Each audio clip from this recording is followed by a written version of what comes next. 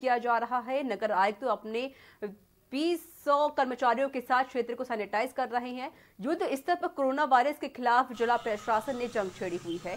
नगर आयुक्त ने बताया कि कोरोना वायरस के चलते पूरा भारत लॉकडाउन है। फ़िलहाल सुबह सात बजे से लेकर ग्यारह बजे तक बाज़ार में आवश्यक सामान की दुकानें खुली रहेंगी, जहाँ सुबह से ही लोगों की भीड़ एकत्रित हो जाती है।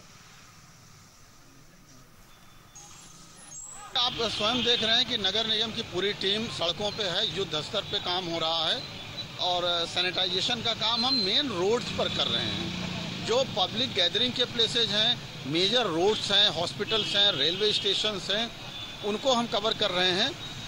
इसलिए शहर में इस इन्फेक्शन की कार्रवाई हमारी हमारी पैंतीस टीमें काम कर रही हैं। Corona virus